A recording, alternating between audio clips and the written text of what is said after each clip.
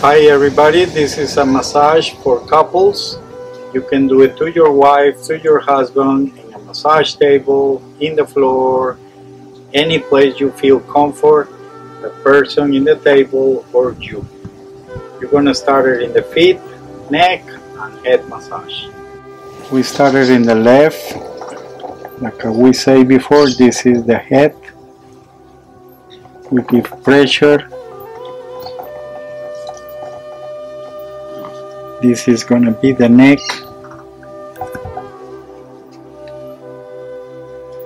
You can feel some crystals here. You can keep the pressure to release. More you can do this you're gonna see that little crystals you feel like a like a rice. Sometimes it's bigger you you can feel it like a beans. You're going down this is like a shoulders area. When you are exhausted you feel it right here. You push this point over here very important. Because more of the time the person feel the pressure feel pain and you can release you can do it three times and after you go to another part. Because if you continue only in the pain part it's not going to be fun.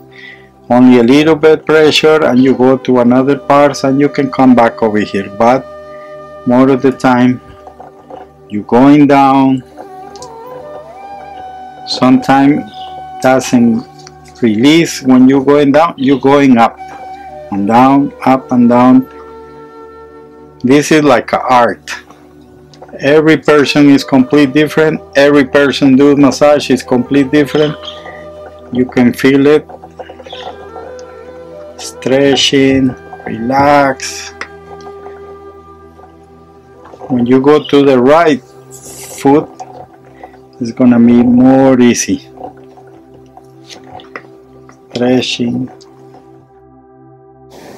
The front on the feet, right here is not too many muscle, it's too many ligaments, but over here is a little pressure. Some points are very important, like this one this one and this one and both hands have a lot of energy. Always is painful here. Why? Because energy stuck over here and it's a reflection of the liver too. How to do a head and neck massage. It's better to put your hands under the neck. You feel the vertebrae feel it in your finger you put it a little bit up and hold it to you that is giving feels not a professional person can do this. This is only to see it up and coming to me and release.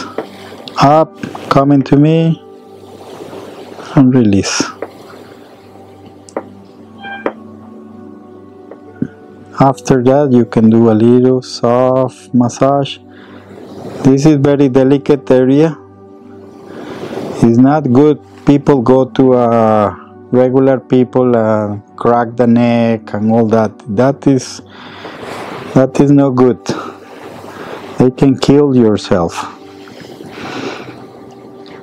Over here pressure. Another side. Little by little you go to the head.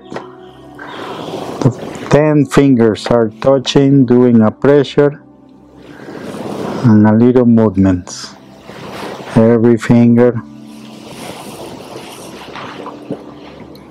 After you do the feet, you do the neck and you do the head, my goodness, everybody's snoring and sleeping and relaxed. Stretching.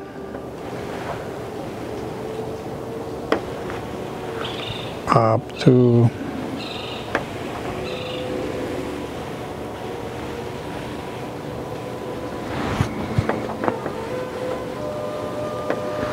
little bit of tapping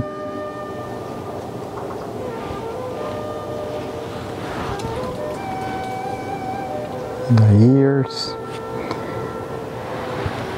you can put energy in the third eye. To feel better these days you and your family try to use these little arms. We know this work and you're gonna feel much better in these difficult moments um,